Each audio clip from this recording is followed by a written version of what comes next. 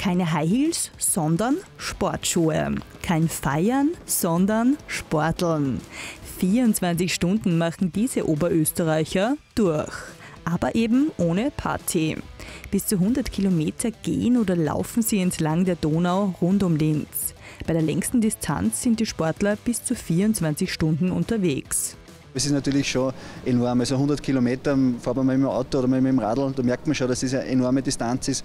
Und das zu Fuß zu machen mit Höhenmetern im Gelände, das ist schon wirklich eine große Herausforderung. Beim 100 Kilometer haben wir doch Ausfallsquoten von 40 bis 50 Prozent, da kommen nicht alle ins Ziel.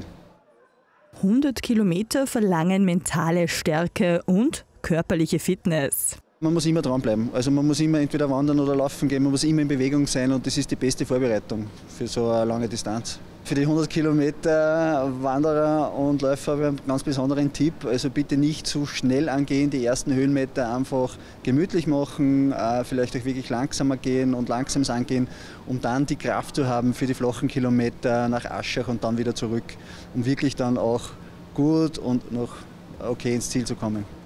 Start und Ziel die Linzerie in der Landeshauptstadt. Insgesamt gibt es sechs Strecken. Es geht los bei 12 Kilometern, ist wirklich so Einsteigerdistanz. Da kann jeder mitmachen und ist ein Riesenhighlight dabei der Böstlingberg.